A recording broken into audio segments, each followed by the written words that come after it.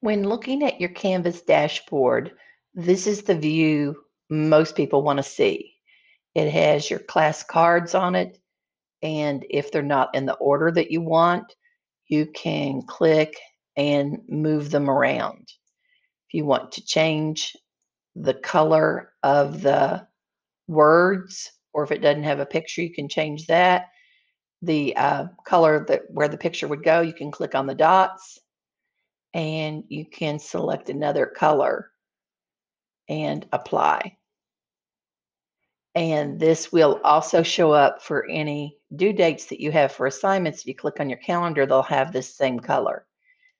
Up in the top right-hand corner on the same line where it says dashboard, there are three dots. If you click on the three dots, at the bottom it says cover up color overlay. So if this is turned on, the color kind of goes over your picture, mutes the picture a little bit. If you like the way that looks, that's fine. If you don't like the way that looks, three dots and take off the color overlay. Then the color you select will be on the words, but won't be over top of the whole picture. If your screen doesn't look this way, maybe because you're not in card view, you're in list view.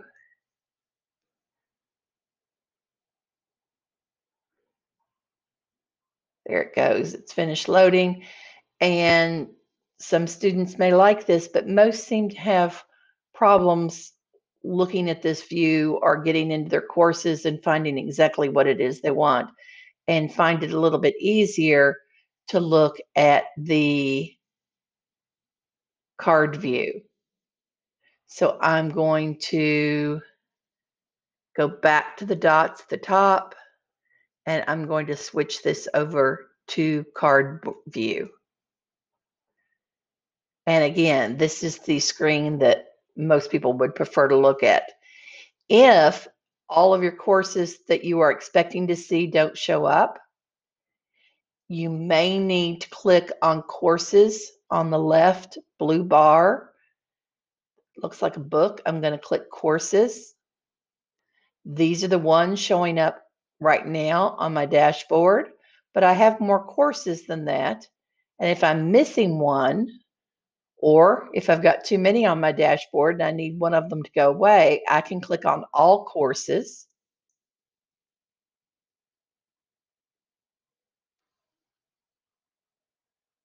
And this is the list of all courses I have access to. Hopefully students don't haven't collected quite this many.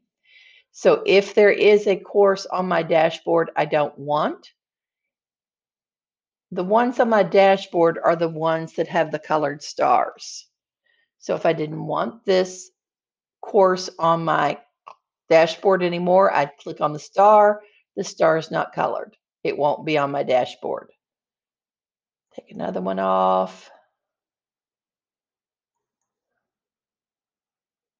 And I can simplify my dashboard by removing some of the courses that I don't need anymore.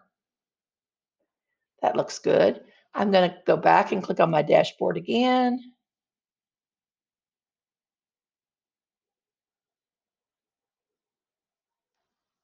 And I have the courses that I need, but not more than I need and I can switch and drag them around to be what order I need them to be in.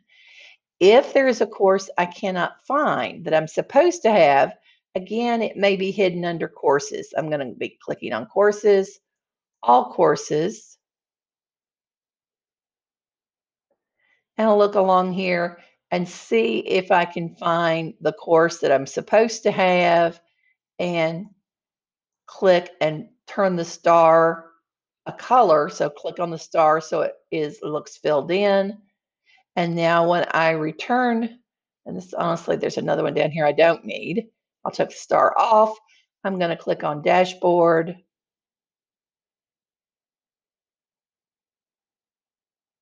And these are the courses that I need to see right now.